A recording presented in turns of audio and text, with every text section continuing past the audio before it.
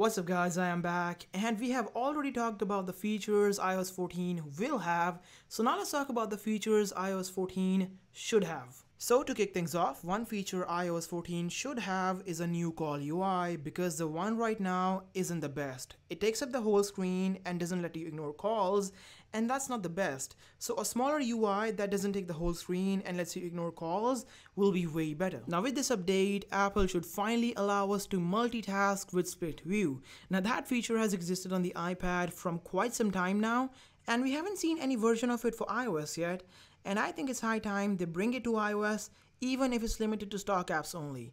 Now another feature they should bring from the iPads is picture in picture because that also is long overdue and we want to binge content on the home screen as well. Now Apple should also use up the free space at the bottom of the keyboard and put an emoji bar over there for easy access because going to the emoji section every time isn't the best and they also have the free space down there so you can use that to put your favorite emojis or the recent emojis and that'll make the experience whole lot better. Now they should also let us change the video resolution and make other camera changes from the camera app itself so that we don't have to go to settings every time we want to make a change. Only the new iPhones have this and it's not fair in my opinion. Now another change iOS 14 should let us make is the ability to change the lock screen buttons because that's limited to just flashlight and camera and I think everyone wants to make their own shortcuts to use from there. So Apple should finally allow us to change that to whatever we want and let us have fun with it. Now a few apps have the ability to lock themselves like WhatsApp with Face ID, but Apple should give us a proper app locker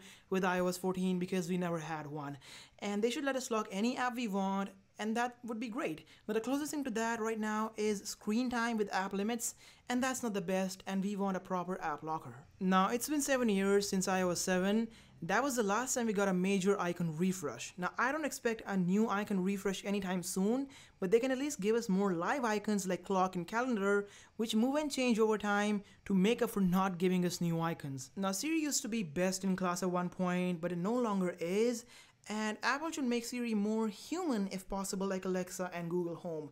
Now don't get me wrong, they have improved Siri over the years, but it still needs a lot of work and I think they should focus on it on iOS 14. Now I am pretty sure a lot of you will agree to me on this.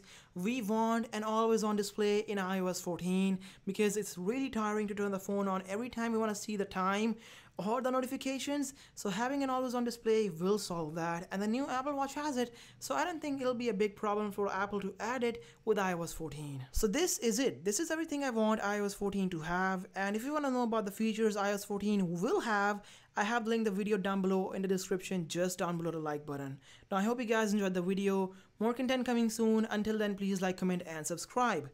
Peace.